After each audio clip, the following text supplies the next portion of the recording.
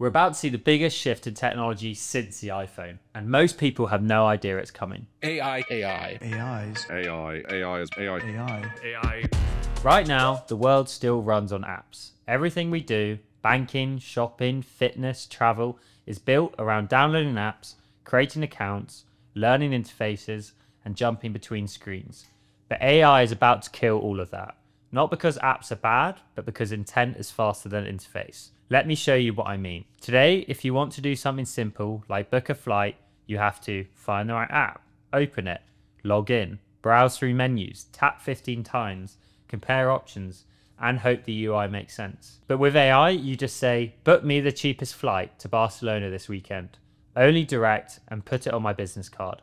No app, no login, no tapping, just intent to outcome. And once people get used to that level of speed and convenience, they won't go back. Apps won't disappear because AI is more powerful. Apps will disappear because AI removes friction. This is the thing no one is talking about. We're moving from which app should I use to what do I want to happen? Claude's app builder, ChatGPT's workspace, Gemini's multi agent actions, even Microsoft's Copilot stack, or Spotify's personalized actions. Even Apple has hinted at agent driven UI. Every major company is quietly preparing for a world where you don't navigate apps, you delegate tasks. The AI becomes the interface, and that has massive implications. Think about what this means for your business. If your customer doesn't open the app anymore, how do they interact with you? If their AI agent handles the booking, the buying, the comparing, how do you differentiate?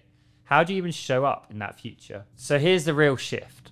Apps used to be the end product. Now apps will become APIs behind the scenes, responding to AI agents rather than humans. We'll stop designing user interfaces and start designing AI friendly services that agents can understand and execute. So here's what leaders need to do. Number one, build for intent, not UI. Your future interface strategy is really a what does the user want instantly strategy. Number two, Make your product indexable by AI. If an agent can't navigate your services programmatically, you won't exist in the new ecosystem. Number three, move from app centric to agent centric design. Think beyond screens and buttons. Think workflows, outcomes, and actions. Number four, treat AI as the new operating system. This is the big one. AI won't be an app inside your phone. AI will be the layer that runs your phone the same way iOS or Android does today. And just like the shift from websites to apps, the shift from apps to AI interfaces will wipe out the entire product categories and create new winners overnight. This is the part where people go, yeah, but apps won't disappear completely. Of course, they won't completely vanish tomorrow.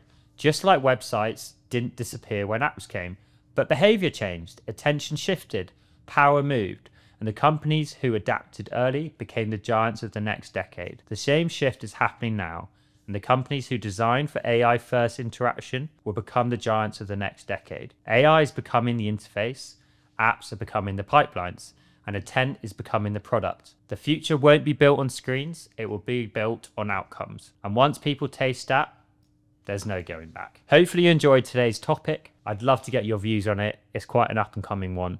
And please stay subscribed to my YouTube channel and LinkedIn newsletter for the latest updates, because I'm on a mission to make you the smartest person in the room when it comes to AI. See you next time.